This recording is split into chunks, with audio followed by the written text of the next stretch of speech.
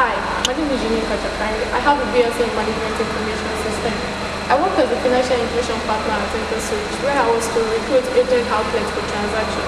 I was also successful in training interns and coordinating them for the Lagos State e-learning center inauguration. During this period, I learned how to plan, how to organize, how to coordinate, and how to schedule effectively.